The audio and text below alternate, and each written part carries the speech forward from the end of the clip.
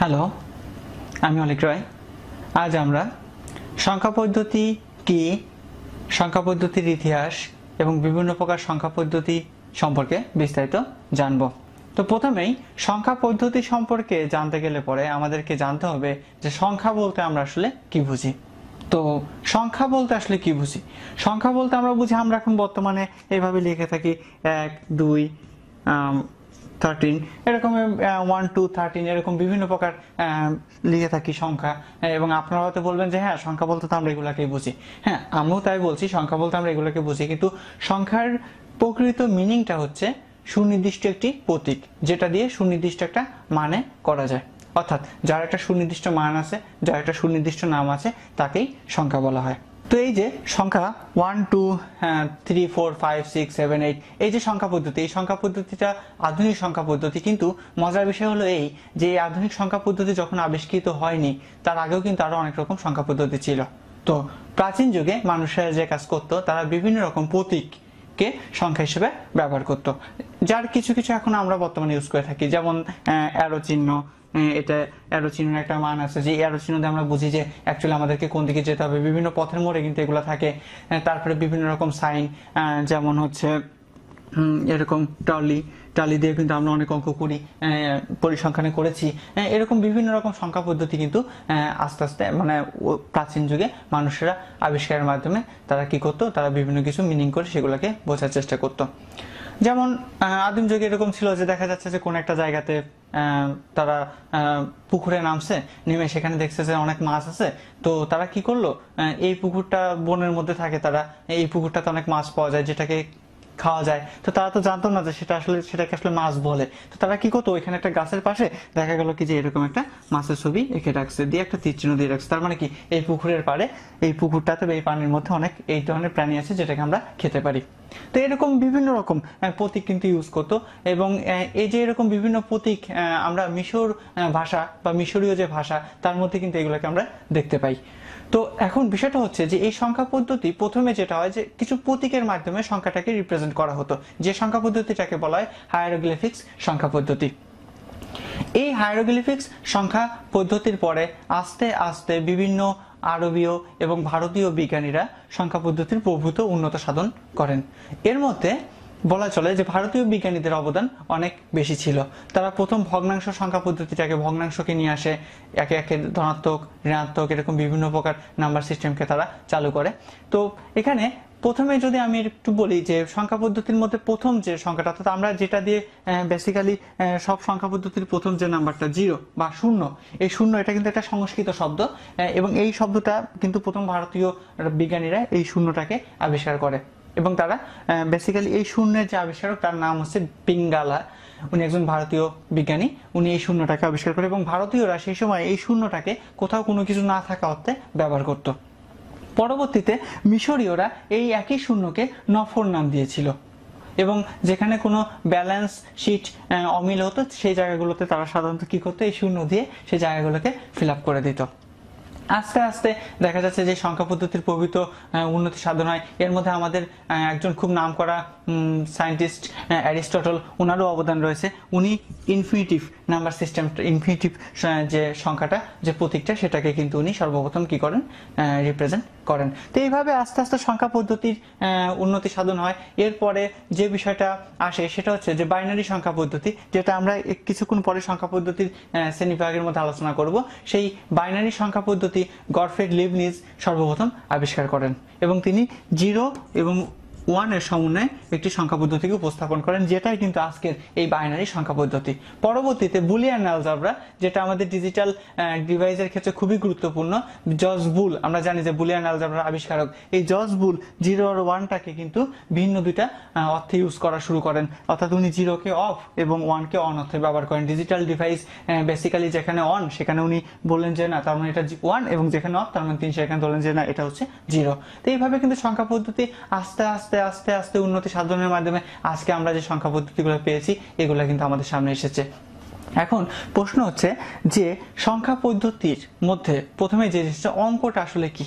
তো একটা সংখ্যা পদ্ধতি অনেক রকম সংখ্যা পদ্ধতি হতে পারে। সংখ্যা পদ্ধতির মধ্যে আমাদের যেমন দেখা যাচ্ছে, আমি এখানে লিখেছি one two thirteen zero one এই যে প্রত্যেকটা যে ইউনিট এই প্রত্যেকটা ইউনিট বা প্রত্যেকটা যে নাম্বার এক একটা, এটাকেই কিন্তু অ্যাকচুয়ালি বলা হচ্ছে অঙ্ক। অর্থাৎ একটা সংখ্যা পদ্ধতির মধ্যে যতগুলো সংখ্যা থাকে, সেই সংখ্যার প্রত্যেকটা ইন্ডিভিজুয়াল সংখ্যাকে বলা হচ্ছে অঙ্ক।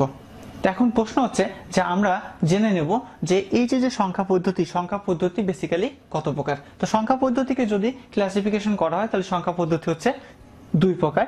একটা হচ্ছে নন পজিশনাল নাম্বার সিস্টেম এবং দ্বিতীয়টি হচ্ছে পজিশনাল নাম্বার সিস্টেম এখন বিষয়টা হচ্ছে নন পজিশনাল নাম্বার সিস্টেমটা আসলে কি? Non positional number system non position মানে যার কোনো পজিশন নেই। তো দেখা যাচ্ছে কি এমন কিছু সংখ্যা, যে সংখ্যার সুনির্দিষ্ট কোনো মান নেই, সুনির্দিষ্ট কোনো অর্থ নেই। আমরা আমাদের প্রয়োজনের সাপেক্ষে সেগুলোকে তৈরি করে নিয়েছি।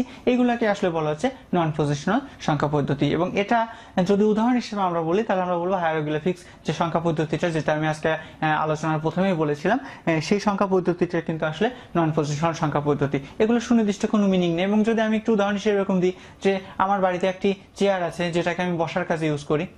আবার ওই একই চেয়ারটাকে দেখা যাচ্ছে যে আমি আমার বাড়িতে রঙের মিস্ত্রি কাজ করতে আসলো, তো আমি দেখা যাচ্ছে চেয়ারটাকে তাকে দিয়ে দিলাম যে আপনি একটু উপরের দিকে উঠে দাঁড়িয়ে এটাকে রং করে দেন। তো এক্ষেত্রে চেয়ারের কিন্তু সুনির্দিষ্ট কোনো মিনিং হচ্ছে না।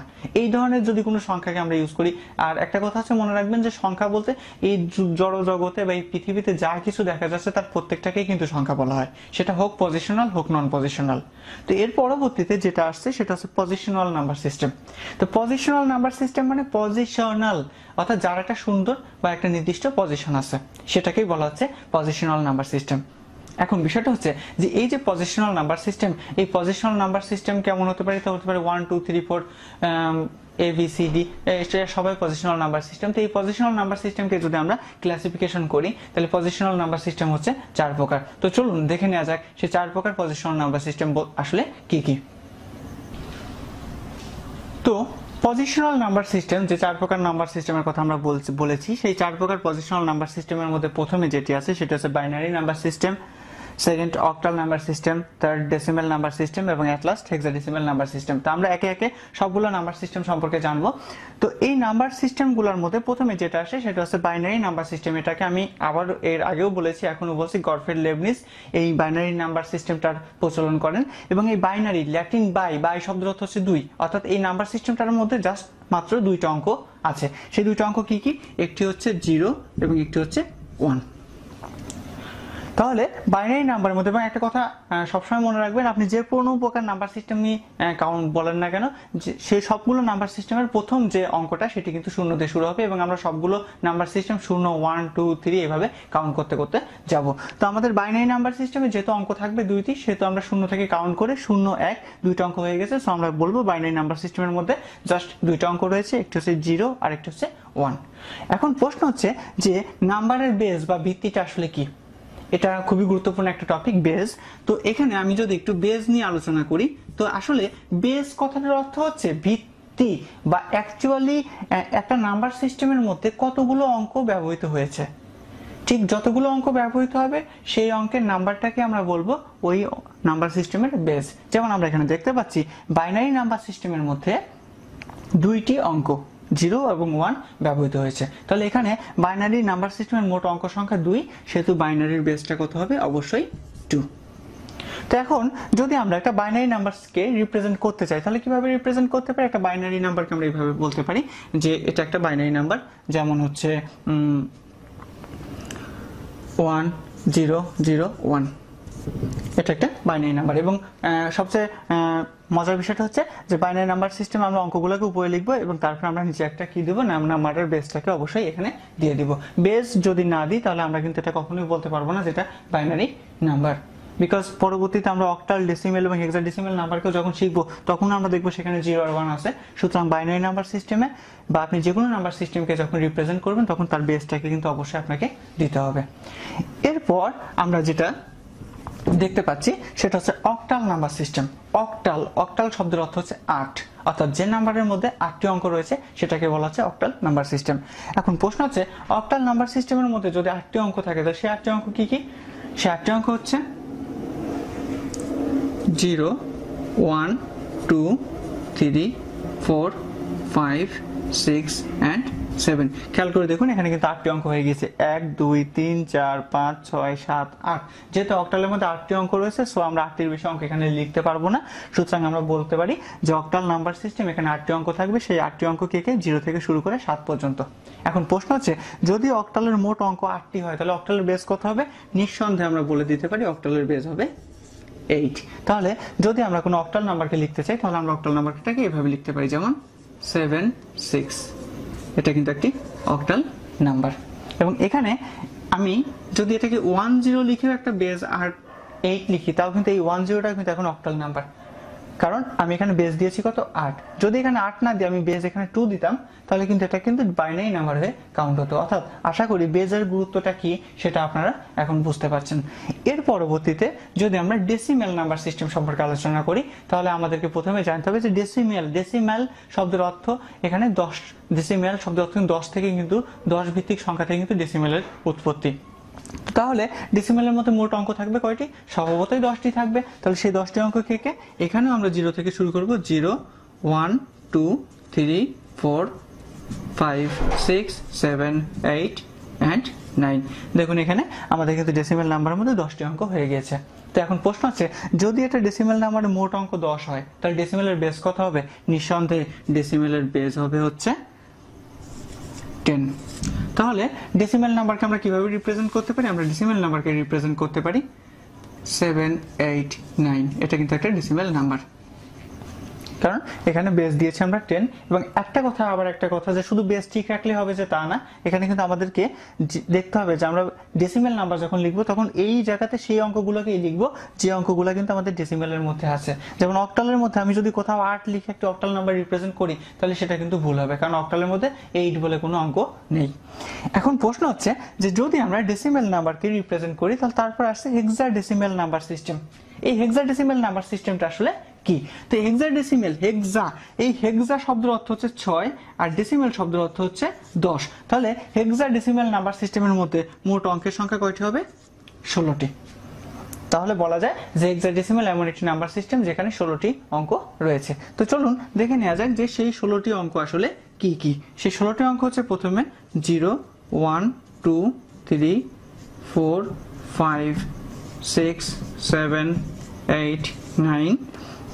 Ten eleven twelve thirteen fourteen and fifteen আমরা এখানে ষোলোটি অঙ্ককে পেয়ে গিয়েছি। তাহলে এই ষোলোটি অঙ্কই হচ্ছে আমাদের হেক্সাডেসিমেলের নাম্বার সিস্টেম এখন প্রশ্ন হচ্ছে হেক্সাডেসিমেল নাম্বার সিস্টেমের মোট অঙ্ক যদি ষোলোটি হয়, তাহলে হেক্সাডেসিমেলের বেস কত হবে? নিঃসন্দেহে এটার বেস হবে ষোলো। এখন হেক্সাডেসিমেল নাম্বার সিস্টেমে কিছু ষোলোটি অঙ্ক দেওয়ার পরে কিছু প্রবলেম এসে উপস্থিত হলো। সেই প্রবলেমগুলো কি কি? যখন আমরা এখন একটু দেখব। তো যদি আমরা কয়েকটি হেক্সাডেসিমেল নাম্বারকে এখানে উপরে লেখার চেষ্টা করি, তাহলে আশা করি প্রবলেমগুলো আমরা বুঝতে- পারব। যেমন, আমি যদি এখানে একটি হেক্সাডেসিমেল নাম্বারকে লিখতে চাই ওয়ান ওয়ান নাইন এটা একটা হেক্সাডেসিমেল নাম্বার এখন প্রশ্ন হচ্ছে হ্যাঁ এটা হেক্সাডেসিমেল বলা যায়। কিন্তু প্রবলেম হচ্ছে যে হেক্সাডেসিমেলের মধ্যে ওয়ান বলেও একটা অঙ্ক রয়েছে, আবার ইলেভেন বলেও একটা অঙ্ক রয়েছে। তাই নয় কি? তো তাই যদি হয়, তাহলে আমি এটাকে ওয়ান ওয়ান আলাদা করে ধরবো? নাকি টোটালটাকে ইলেভেন ধরবো? এটা নিয়ে কিন্তু একটা কনফিউশন তৈরি হয়ে যাচ্ছে। কারণ হেক্সাডেসিমেলের মধ্যে ওয়ান বলে একটা অঙ্কও রয়েছে, আবার ইলেভেন বলে অঙ্কও রয়েছে। এরকম কিছু প্রবলেম হচ্ছিল হেক্সাডেসিমাল নাম্বার সিস্টেম রিপ্রেজেন্ট করার ক্ষেত্রে, যেখানে দেখা যাচ্ছিল যে অ্যাকচুয়ালি একটা অঙ্ককে একটা সিঙ্গেল অঙ্ক ধরবো নাকি একটা ডবল অঙ্ক ধরবো? যেমন যদি আমি এখানে আরেকটা লিখি ওয়ান ফোর নাইন তো সেক্ষেত্রে এখানেও একটু প্রবলেম হচ্ছিল। আমি কি ওয়ান আর ফোরকে আলাদা করে ধরবো নাকি ফোরটিন একসাথে ধরবো? কারণ কি, আমার ওয়ান আর ফোর দুটোই আছে, আবার ফোরটিনও কিন্তু অঙ্ক হিসাবে আছে। তো এই প্রবলেমটা সলভ করার জন্য তখন যে কাজটি করা হলো, সেটা হলো যে দুই অঙ্কের যে অঙ্কগুলা, এখানে যে দুইটি করে আছে, এই অঙ্কগুলাকে একটি সিঙ্গেল ইউনিট বা একটি সিম্বলের সাহায্যে রিপ্রেজেন্ট করা হলো। কেমন? ধরে নেওয়া হলো দশ ইজ ইকাল টু এ এগারো ইজ ইকাল টু বি বারো ইজ ইকাল টু সি তেরো ইজ ইকাল টু ডি চোদ্দ ইজ ইকাল টু ই এবং পনেরো ইজ ইকাল টু এফ তো এখন এটা করার পরে আমাদের সমস্যাটা কিন্তু আর থাকল না। কেন থাকল না? কারণ আমি এখন যদি এই এগারোর পরিবর্তে এখানে বি লিখে দিই তাহলে সবাই কিন্তু বুঝে যাবে যে না, এই বিটা কি, যেহেতু এখানে বি আছে সো বি কার সিম্বল ইলেভেনের সিম্বল সো এটাকে আর ওয়ান ওয়ান ধরার কোনো সুযোগ নেই। এটাকে ইলেভেনই ধরতে হবে। আবার যদি আমি এখানে ওয়ান ফোর নাইন এভাবে লিখে দিই, তাতেও কোনো সমস্যা নেই। কারণ কি, যদি ওয়ান এখন আমি কিন্তু এখানে বলব এটাই যে না ওয়ান আর ফোর কি আলাদা আলাদা দুটো অঙ্ক। যদি ওয়ান আর ফোর একটা সিঙ্গেল অঙ্ক হতো, তাহলে আমরা এখানে ওয়ান ফোর না লিখে ওয়ান ফোর পরিবর্তে ইটাকে লিখে দিতাম। তো এইভাবে কিন্তু আসলে যে যাতে হেক্সাডেসিমাল নাম্বারের মধ্যে অঙ্কগুলো বুঝতে অসুবিধা না হয়, তার জন্য পরবর্তীতে কি করা হলো? যে ডাবল যে ফিগারের যে অঙ্কগুলো আসছিল সেই অঙ্কগুলোকে একটা নির্দিষ্ট সিম্বলের সাহায্যে রিপ্রেজেন্ট করা হলো। তো এটাই ছিল আমাদের হেক্সাডেসিমাল নাম্বার পদ্ধতি। তো আশা করি যে নাম্বার সিস্টেম কি নাম্বার সিস্টেমের ক্লাসিফিকেশনগুলো কি কি, এবং বিভিন্ন প্রকার নাম্বার সিস্টেম সম্পর্কে আমরা বিস্তারিত জানতে পেরেছি। আগামী ক্লাসগুলোতে আমরা বিভিন্ন প্রকার নাম্বারের পারস্পরিক রূপান্তর সম্পর্কে জানব। সে পর্যন্ত ধন্যবাদ সবাইকে।